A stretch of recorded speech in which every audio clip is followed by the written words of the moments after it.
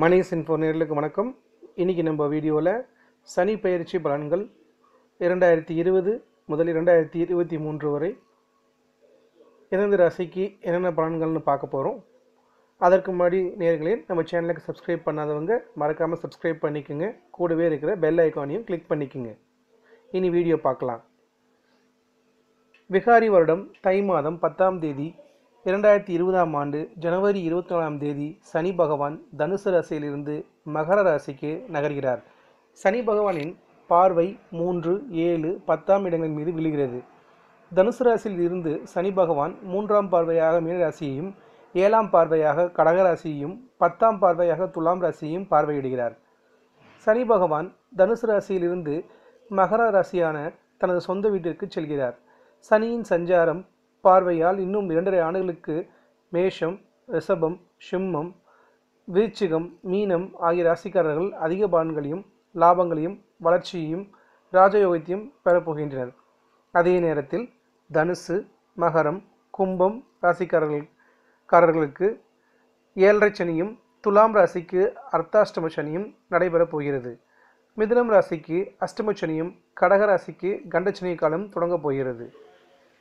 சனி பயிற்சி பலன்கள் ரிஷபராசி. அன்பார்ந்த ரிஷபராசி நேர்களே சனியால் கடந்த இரண்டரை ஆண்டு காலமாக படாத பாடுபட்டிருப்பீர்கள். அஸ்தம சனி முடிந்து பாக்கிய சனி தொடங்குகிறது. சனியால் யோகங்கள் அதிகம் கிடைக்கும் பணவரவு அதிகரிக்கும் அசையும் அசையா சொத்துக்களை வாங்குவீர்கள் நிறைய தர்மங்கள் செய்யுங்கள்.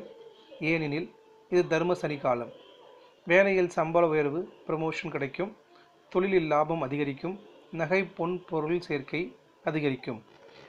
உங்கள் ராசிக்கு அஷ்டமத்தில் சஞ்சாரம் செய்து வந்த சனி பகவானால் படாத துயரங்களும் துன்பங்களும் அடைந்திருப்பீர்கள்.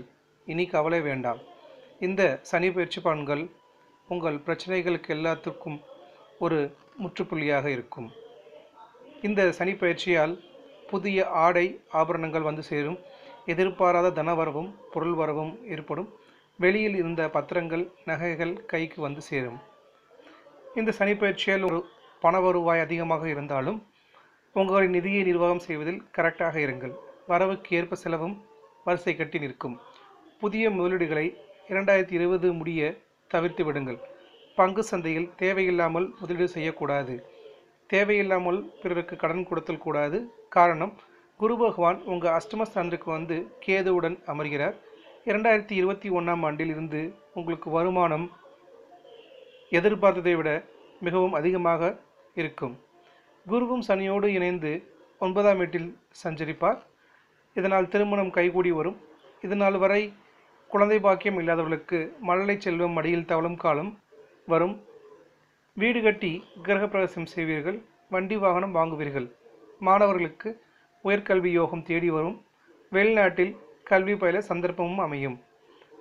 ஆக மொத்தம் இந்த சனி பயிற்சி பலன் ரிஷபராசிக்கு ஒரு பொற்காலம் என்றே கூறலாம். நேர்களே இந்த குறுந்தகவல் உங்களுக்கு பிடிச்சிருந்ததுன்னா எங்கள் சேனலுக்கு லைக் பண்ணுங்கள் ஷேர் பண்ணுங்கள் மறக்காமல் சப்ஸ்கிரைப் பண்ணுங்கள் நன்றி வணக்கம்.